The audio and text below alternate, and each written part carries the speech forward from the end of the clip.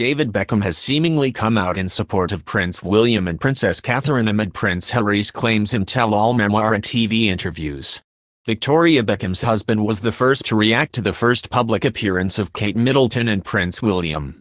Buckingham Palace, on behalf of King Charles, shared adorable photos of the Prince and Princess of Wales from their visit to Merseyside on Instagram and Twitter where the royal couple looks all smiling. The palace shared the pictures and wrote, the Prince and Princess of Wales spent a day in Merseyside yesterday, meeting individuals working across healthcare and mental health support services in the county. David Beckham was the first to react to the first public appearance of Princess Catherine and Prince William by pressing the heart button on Instagram. Former soccer star David is good friends with the couple and attended their 2011 wedding.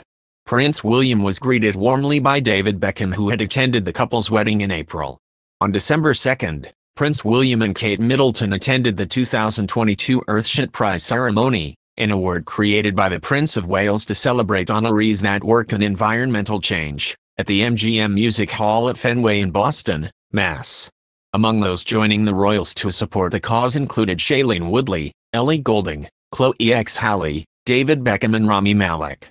Although he was not on the official guest list for the party, Royal Aide said that he particularly wanted to welcome the couple to Los Angeles and deliver several signed LA Galaxy shirts which Prince William will auction for one of his charities.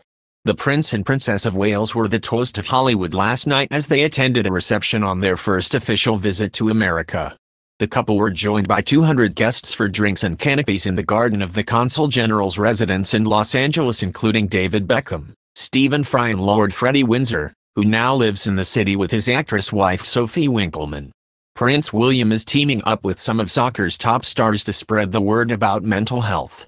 The 38-year-old Duke of Cambridge participated in a virtual video chat for his Heads Together charity with A-list athletes including David Beckham, Steph Houghton, Tyrone Mings and more, which was released on the Kensington Royal social media accounts on Monday. This channel does not seek to prove truths behind the curiosities, theories or events of history. My primary goal is just to entertain people. I wish you see the fun of the news. If you like our videos, please subscribe channel and click the little bell button to receive the latest videos.